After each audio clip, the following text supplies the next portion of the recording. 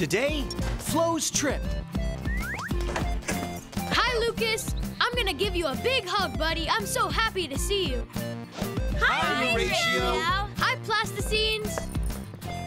I'm happy to see you guys too. And we're happy to see you too, but if you hug us the way you hug Lucas, you'll crush us. Remember, we're made of plasticine. You're right, guys. But Horatio, don't be sad. We're right here, here.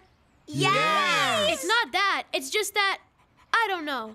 I'm feeling strange. What are you trying to say? You guys know Flo, right? My best friend in the whole entire world? Of course. She always comes to play with you after school around this time. Hey guys, hang on. Flo should be here. That's true. Where is she, she? Maybe she's here, but she became invisible. She didn't become invisible, Green. You see, Flo and I always do everything together. We even sit next to one another at school. We always play hide and seek, but a week ago she said she was going on a trip with her dad. He's a teacher and he has to go teach at a school that's really, really far away. I feel lonely without Flo. I'm bored and I don't like going to school because she won't be there. Sometimes I see her and I get really happy and run over to hug her, but it was just my imagination. Oh, that happens to me too. Sometimes I think I have a cookie, but then I remember I already ate it and it disappears. Are you sad that Flo's not here, Horatio? Mm-hmm. Very. You shouldn't be sad. What you're feeling is very beautiful. But how can it be beautiful if I feel so sad? What's happening, Horatio, is that you miss Flo. What? Miss Flo? Yes, yes. How could she be Miss Flo? My teacher's Miss, and so is the lady at the store, but Flo's a kid, right, Lucas? No, Horatio, what Red's trying to say is that the feeling you're talking about is called missing someone. Oh, plasticines, I don't understand. I know, I know. A song? A song. Yawn?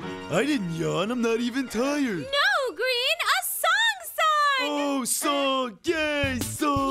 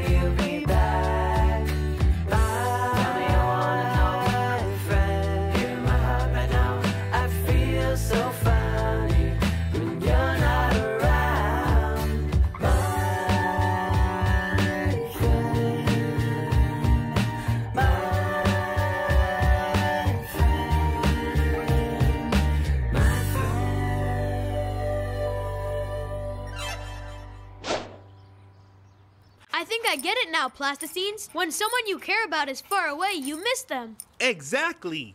Like that time Lucas got lost at the park and I couldn't sleep all night. Or when you went on vacation with your parents and we missed you very much. Yes, and I missed you guys when I went far away. But you missed me the most, right? Because I'm green, and we all know that green's the best color in the world. Look, Plasticines, it's the mailman.